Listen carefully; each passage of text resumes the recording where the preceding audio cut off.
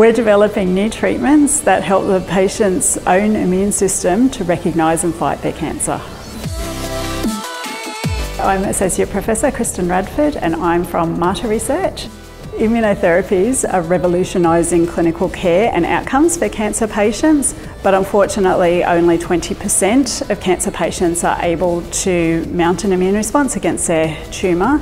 And what we hope to do is make immunotherapies more accessible so that more patients are able to induce their own immune response to recognise and fight their cancer.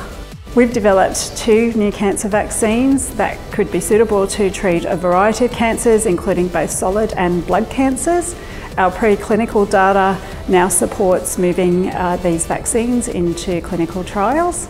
We've also developed some innovative models that we can better understand human immune responses and evaluate new immunotherapies for cancer and a variety of other diseases.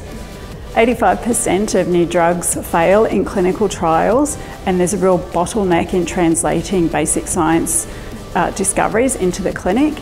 And what we're working on is a innovative new model that will allow us to more rapidly and reliably translate basic science discoveries and in particular immunotherapies into the clinic.